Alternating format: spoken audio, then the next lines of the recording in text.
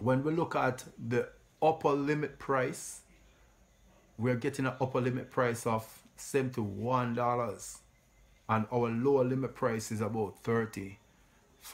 So the upper limit price is saying above this price, JMMB can be um, viewed as overvalued.